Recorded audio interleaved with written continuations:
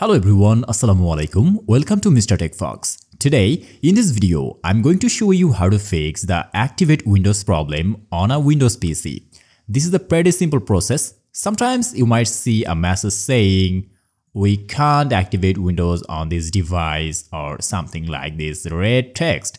So we are gonna fix this issue today. This issue can prevent you from performing certain tasks on Windows PC and might cause various inconveniences. Don't worry, I'm here to guide you through the steps to fix it. If this helps, please consider subscribing this channel. Your one subscribe motivates me a lot. So first of all, we are gonna follow the method 1. So we will use command prompt. Normally click on the startup menu and type here cmd and you will see an option named Command Prompt. Normally right click on it and choose Run as Administrator.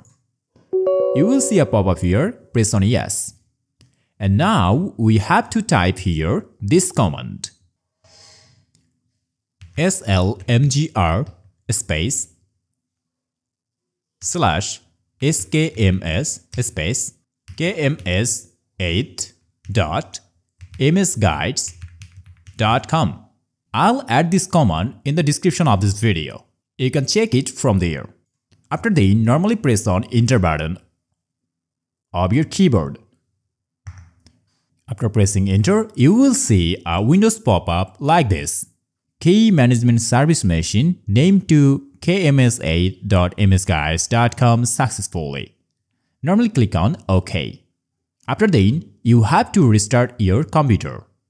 I'll also restart my PC, but before doing it, I'm gonna show you the method 2. And here we will also use command prompt. So normally we have to click on this startup menu and type here again cmd and after then we have to right click on it and choose run as administrator press yes and then we have to type here a new command sl mgr space slash ato.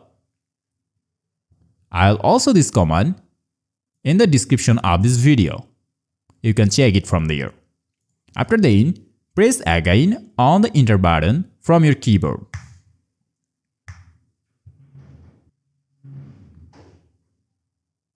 After pressing enter, you have to wait a few seconds and you will see a pop-up window like this. Normally click on OK. And here you can see that the text of Activate Windows is gone from here. So guys, we are gonna check by clicking on the startup menu and typing here activation settings, clicking on it. And here you can see that the problem is gone from here. If it doesn't proceed from here, you may need to restart your PC.